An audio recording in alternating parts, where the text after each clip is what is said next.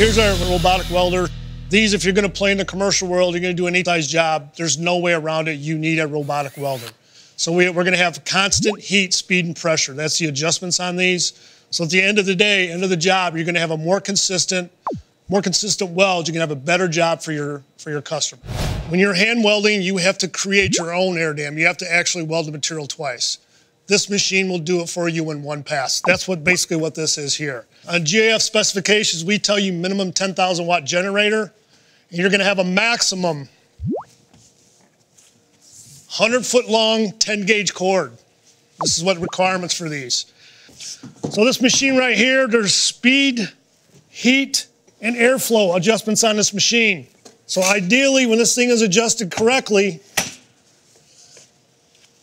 you want about that first vent hole exposed from that drive wheel and pressure wheel. If that whole nozzle is buried underneath that seam, when you go to probe it, you're gonna have a little bit that's probed open. So there's adjustments on here. All you basically do, loosen these two screws up and you can pivot it in and out or slide it all the way back.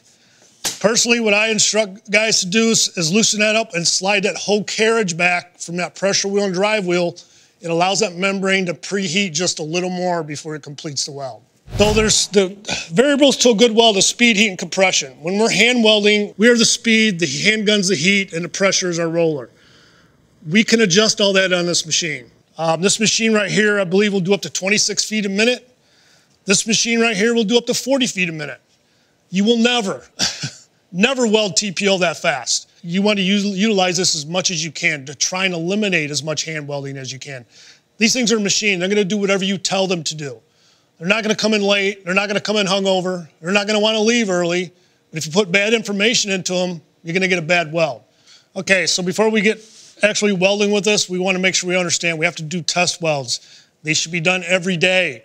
Um, you know, you might have to do them twice a day. You might have to do them three times a day, depending on whether you can have to do them multiple times in one day.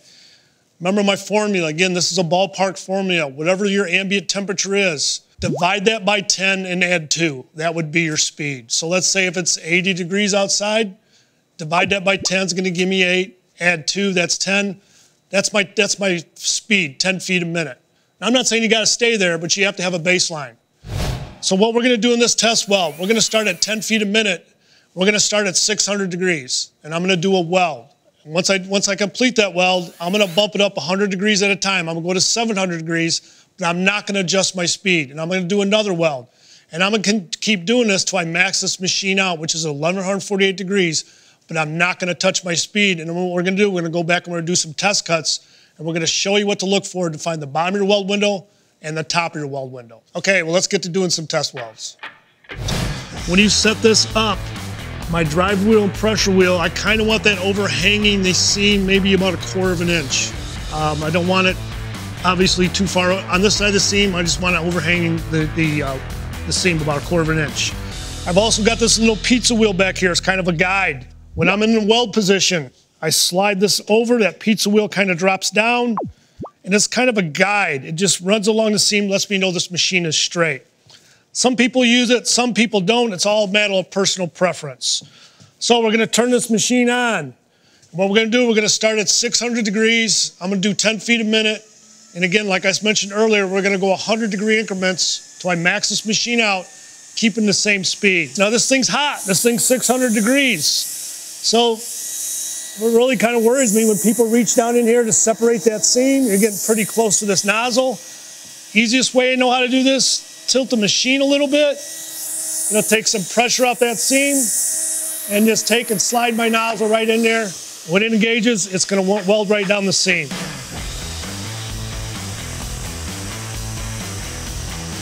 I'm just gonna let it run all the way out. Just reverse the process. We're gonna let this cool down and we're gonna do some test cuts. Now I'm gonna bump this machine up to 700 degrees and just repeat this until I max it out. There's my 700 degrees. I'm up the temperature. Okay, bump this up to 800. So now I'm at 900 degrees. Ever knows how Dave gets out of this stuff when you gotta start lifting heavy equipment? So 1,000 degrees, I can't pick that apart. Hey Dave, can you give me a cup of coffee? Can you give me a cup of coffee?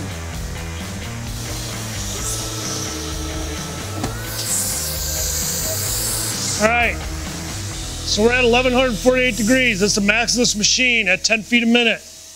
What I want you as the viewer to pay attention to, I just peeled that apart. You'll notice that 900, 1,000, I couldn't peel that apart.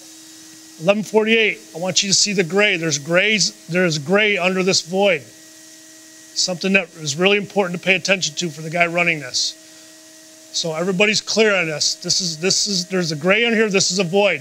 When we do the test cuts, we're gonna see something a little bit different. Okay, so we've done all our test welding, um, and I actually broke Dave away from his coffee and his computer. He actually cut these up for me. Um, he actually cut them in one inch wide strips. This is our field test. Um, you really don't want to take your membrane and pull it down the seam. This is the way you actually want to test for your film tearing bond on your seam. This is an actual ASTM test, so we're making our own test samples. So Dave cut these one inch strips, and now I'm gonna do them, I'll pull them apart. I'm actually gonna pull it, see how much pressure I have. Obviously, I have nothing. This was at 600 degrees at 10 feet a minute. I will pull these other two, probably gonna get the same result. Nothing. Okay, now this is 700 degrees. Okay, so I've got probably, we're looking for an inch and a half delamination.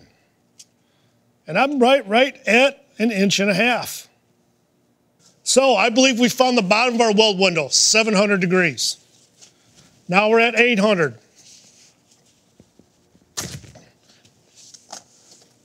So here's 900. Again, we're at inch and a half. Inch and a half. Okay, now we're getting up in this 1,000, 1,148 degrees. So we got a good weld at 700, 800, 900.